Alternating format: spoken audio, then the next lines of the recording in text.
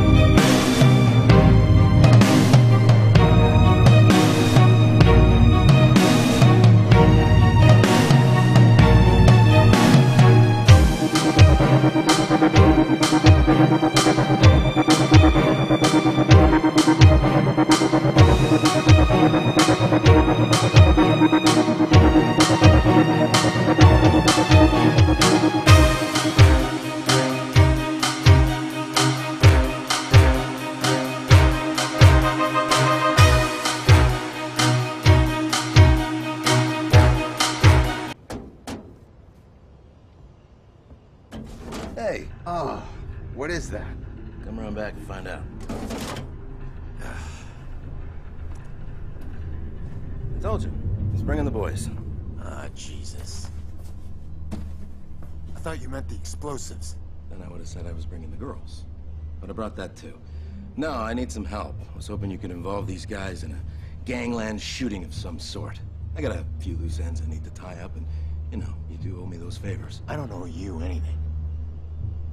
Give me the explosive, something I can carry. Fine.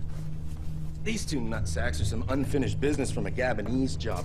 You should have seen the way that they tried to take me out. I am driving this beast of a muscle car right out of the 70s. You know when an automobile accident was still called a fucking car crash? Let's go. Yeah, so these geniuses here think they're gonna ram me off the road with some plastic, eco-friendly shitbug. It just makes this weird ping bounces off into a parked van. Here, hold that. Great. Thanks. This is what I have for you.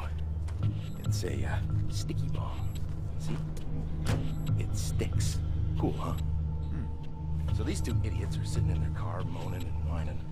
They're all fucked up. I don't know whether to laugh at them or scream at them. Finally, I just pulled out my 45 and slammed a couple of rounds into their fat faces. So that's what I have. You deal with all this for me? No way. We could just do that.